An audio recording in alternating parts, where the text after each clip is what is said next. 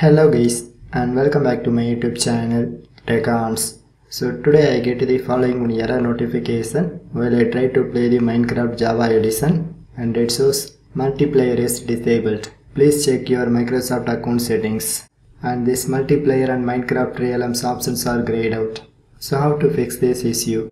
And this is happening due to the Microsoft account privacy settings. So if you get this message just press quiet game option and one more time I try to open that Minecraft launcher. So now in this section in top of left side it shows my Minecraft username. So just tap on it. And then select manage account.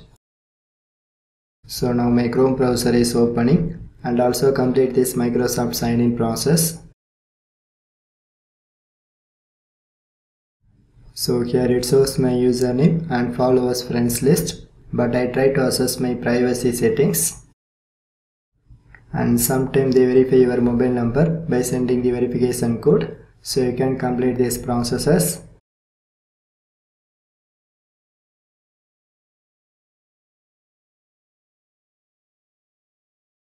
And this is the privacy settings. So here it shows three subcategories so you can select the second one xbox one or windows 10 online safety and then scroll down.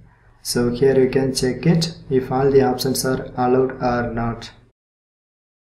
And the very important one is you can join multiplayer games. And this option is blocked in my settings. So due to this option it shows that kind of error message.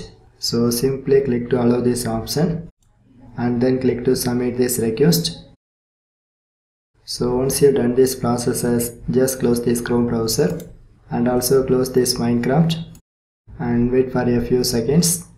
So after the few seconds one more time i try to access this minecraft.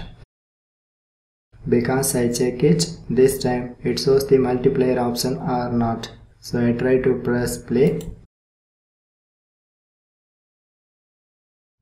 But friends now this time you can see this multiplayer option is visible. So you can click to join the server. So anyway if this trick works just leave a one like. So otherwise just put your valuable comments.